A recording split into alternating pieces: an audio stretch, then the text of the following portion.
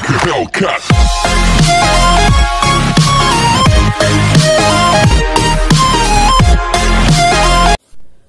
Hello everybody, welcome to Kingdom of Learning. So today I'm going to explain chapter The Ghat of the Only World from class 11th. And uh, before we start, let us know about the writer. Actually ये chapter लिखा है अमिताभ घोष ने अमिताभ घोष जो है वो एक famous writer है Bengali writer थे। एंड uh, उन्होंने इस चैप्टर को actually as a tribute to Agha Shahid Ali एक पोएट है। उनको एक ट्रिब्यूट दिया इस चैप्टर के थ्रू तो एक्चुअली अमिताभ घोष के जो फादर थे उनकी पोस्टिंग अलग अलग जगह पे होती थी। तो इस वजह से उन्हें अलग अलग जगह India and out of India जाने का चांस मिलता रहता था। तो इस चैप्टर में भी इस स्टोरी में भी उन्होंने आगा शाहिद अली थे, एक पोएट थे, एक राइटर थे, जिनको वो अमेरिका में मिले थे। तो उनके साथ जो उनकी मीटिंग थी और उसके बाद उनकी जो फ्रेंडशिप डेवलप हुई उसमें उन्होंने इस चैप्टर के थ्रू दिखाने की कोशिश की है। So now let us see the summary of this chapter so first of all when the chapter begins तो राइटर अमिताभ घोष जो है, वो ये हमें बताते हैं कि सबसे पहले वो आगा शाहिद अली से अमेरिका में मिले थे और वहाँ पर धीरे धीरे उनकी फ्रेंडशिप हो गई थी। और फिर एक्चुअली शाहिद जो एक पोएट थे he was suffering with brain tumour and it was on twenty fifth April two thousand one that the narrator writer Amitabh Ghosh came to know about his cancer means Shahid जो थे, उनको cancer था और and he knew that very soon he was going to die और अमिताभ घोष को 2001 में पहली बार पता चला कि शाहिद ने जब उन्हें बताया कि वो ब्रेन ट्यूमर है उनको and he was going to die और उसी वक्त पे जब नरेटर को, जब राइटर को ये पता चल गया कि शाहिद को ब्रेन ट्यूमर है तो शाहिद ने राइटर से एक प्रॉमिस लिया कि you will write something about me after my death so this was a very strange promise but the writer had to fulfil it because he was a friend of Shahid तो उसके बाद से उन्होंने शाहिद के साथ जो जो हुआ उनकी लाइफ में, उन्होंने वो सब नोट करना स्टार्ट कर दिया ताकि वो उसको एक बुक की फॉर्म में या एक स्टोरी की फॉर्म में पेन डाउन कर सकें। तो ये जो स्टोरी है, ये उसी को सब, उसी सब चीज़ों को ही दिखाती है। तो इसके, इसमें, सबसे पहले जो है राइटर ने हमें ये बताया कि शाहिद जो है वो अपने कैंसर का ट्रीटमेंट करा रहे थे और शाहिद को नरेटर जो मिले थे वो अमेरिका में काफ़ी बाद में मिले थे। आई थिंक 2000 ईयर 2000 में मिले थे लेकिन वो उससे पहले से ही शाहिद से फैमिलियर थे। मींस वो भी आ, क्योंकि अमिताभ घोष भी एक राइटर थे तो उन्होंने अपनी राइटिंग्स में पहले से ही शाहिद की पोएम थी country without a post office उसको मेंशन किया हुआ था। और उन्होंने उनकी रेफरेंस ली थी अपनी मींस अपनी बुक्स में, अपनी नॉवेल्स में तो इसलिए वो शाहिद को पहले से जानते थे। लेकिन it was in the year 2000 Amitabh Ghosh जो है वो अमेरिका में रहते थे और शाहिद को जब उसके ब्रेन ट्यूमर का पता चला तो वो भी अमेरिका में अपनी सिस्टर के घर के पास उन्होंने एक घर ले लिया, जो घर अमिताभ घोष के घर के पास था। तो वो शाहिद को पर्सनली जानने लगे और दोनों में फ्रेंडशिप डेवलप होने लगी।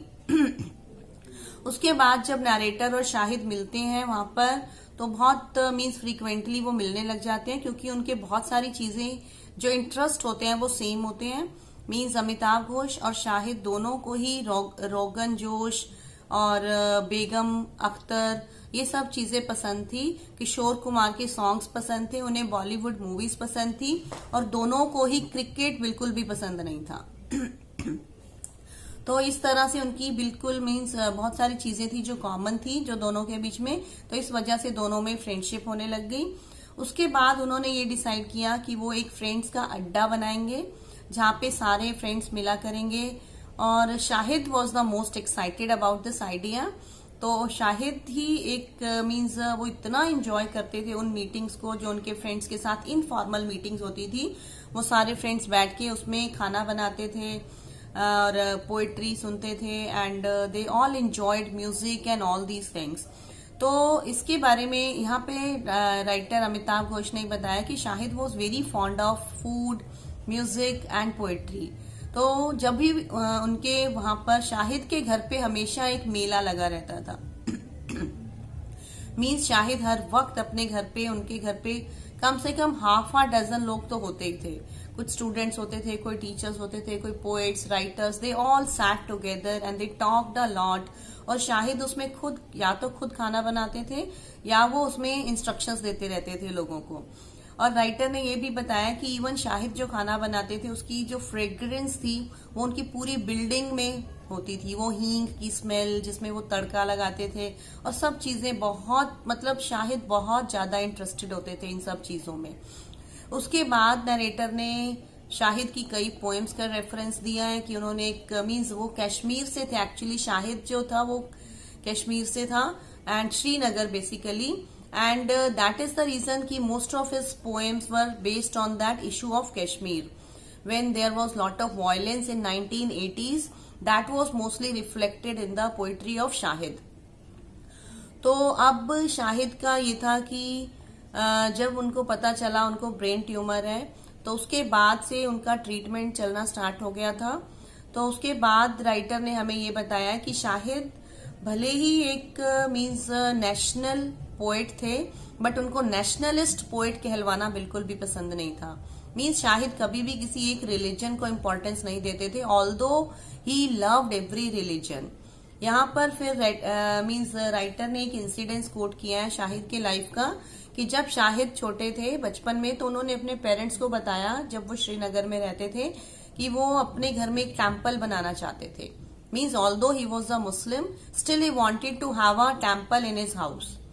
and his parents were equally excited उसके पेरेंट्स भी बहुत एक्साइटेड हो गए इस चीज़ से। और उनकी मदर ने उन्हें सारी मूर्तिज और सब कुछ ला कर दिया, और उनको सारी पूजा वगैरह सब कुछ मतलब उनकी मदर ने उनकी हेल्प की। तो ये बहुत ही स्ट्रेंज थी, ये बात। तो जब भी अब लोग शाहिद से ये बात करते थे कि मुस्लिम्स आर फैनेटिक्स मीन्स अपने वो मीन्स बहुत ही रूड होते हैं, बहुत ज़्यादा रिजिड होते हैं मुस्लिम्स अपने रिलीजन को लेकर तो शाहिद उनको हमेशा अपनी लाइफ की ये स्टोरी सुनाते थे कि कैसे उनके बचपन में उन्होंने अपने घर में एक टेंपल बनाया था, हिंदू टेंपल बनाया था। तो ये सब चीज़ें शाहिद की लाइफ से रिलेटेड जो है राइटर ने हमें इस चैप्टर में बताई हैं। इसके साथ राइटर ने ये बताया कि शाहिद जो थे एक बहुत ही means full of life person थे. He enjoyed every moment of his life and even at that last stage of his life also he enjoyed so much in his life तो उनकी एक और इंपॉर्टेंट uh, फैक्टर था उनके character में कि Shahid was very good at wit wit means means उनको हाज, हाजिर जवाब थे शाहिद। मतलब अगर कोई भी उनसे कोई क्वेश्चन पूछता था कि वो उनका एकदम तुरंत जवाब देते थे। यहाँ पर एक फनी इंसिडेंट है कि एक बार शाहिद बार्सिलोना एयरपोर्ट पे थे तो वहाँ पर एक लेडी गार्ड थी तो उन्होंने शाहिद से पूछा कि I you carrying anything that is dangerous for others तो इस पर शाहिद ने रिप्लाई किया yes my heart means I am carrying my heart that can be dangerous to others So he was so funny. He gave such intelligent and funny answers to everybody. And uh, Shahid was a big fan of Begum Akhtar. और जब Shahid class में शाहिद एक professor भी थे और एक means एक teacher भी थे और एक पोएट भी थे एक राइटर भी थे तो जब वो कॉलेज में पढ़ाने जाते थे मैनहट्टन के कॉलेज का एक इंसिडेंट बताया गया है कि शाहिद जब वहाँ पर पढ़ा रहे थे राइटर ने भी उनको अकम्पनी किया था because he had to write everything about him तो वहाँ पर Shahid was just so he was teaching so well and all the students were mesmerise they were engrossed in his teaching and uh, it was quite visible ki what type of a teacher he was he was a diva over there and all the children loved him shahid uh, told that he loved to be in the company of indian students और शाहिद ने बताया था writer को कि जब वो Penn State में थे, वहाँ पर उन्होंने एक इंडियन स्टूडेंट्स के ग्रुप को पढ़ाया था and that was the happiest time of his life तो इसके बाद नरेटर जो है वो लास्ट मीन्स लास्ट पेज जो है बुक का, उस पर ये बताते हैं कि जो शाहिद का मीन्स वो लास्ट में शाहिद को मिले थे एट अक्टूबर 2001 में। तब शाहिद जो था अपनी लाइफ की लास्ट स्टेज पे था, बिल्कुल, क्योंकि डॉक्टर ने उनको बता दिया था, क्योंकि कीमोथेरेपी उनकी सब जितने भी ट्रीटमेंट्स थे, वो सब फेल हो चुके थे। किसी भी मेडिसन का, किसी भी चीज़ का कोई इफ़ेक्ट नहीं हो रहा था। तो all the medicine and all the therapies had been stopped तो अब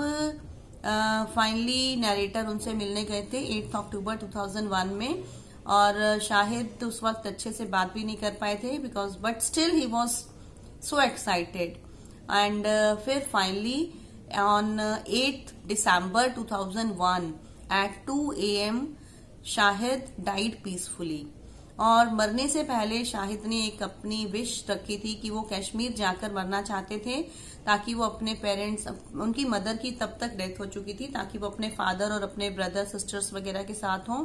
but later on he change this wish and he was happy to die in America only and he thought कि उनकी भी ग्रेव जो है वो एमिली डिकिंसन जो एक फ़ेमस राइटर थी,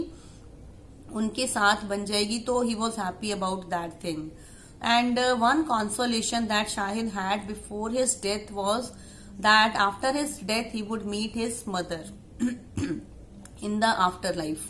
so that was the only consolation for Shahid before his death तो in this way the writer has told us everything about Shahid actually this is a very serious story and an real one not a fictitious one and इसमें Shahid and में means Shahid की एक poem को quote किया गया है कि I am I dream that I am at the ghat of the only world actually the narrator tells us कि although he had a very short friendship with Shahid but after his death the void means उनकी life में जो खालीपन था, वो बहुत बड़ा था। मीन्स राइटर उनको इतना मिस करते थे। मोस्टली वो उनकी उस पोएम को मिस करते थे, जो शाहिद ने खुद रीड की थी as a farewell to himself और उस पोएम में शाहिद ने लिखा था I feel I dream I am standing at the ghat of the only world and the meaning of this line is कि शाहिद को हमेशा मीन्स ऐसा जब से उनको पता चला था कि उनको ब्रेन ट्यूमर है, उससे ये लगता था कि he was going to die और वो मरने वाला है, वो इस वर्ल्ड के घाट पे खड़ा हुआ है मीन्स वो बैंक पे खड़ा हुआ है, किसी रिवर या किसी वाटर बॉडी के, और अब वो यहाँ से जाने वाला है। He is going to leave this world so that's why he always had a dream that he was standing at the ghat of the only world. So at this point this chapter comes to an end. So i hope you must have understood it. So uh, if you have any doubt you can still ask in the comment box and uh, share it with maximum number of students so that they can also be benefited. And please subscribe to my channel if you haven't yet. Thank you very much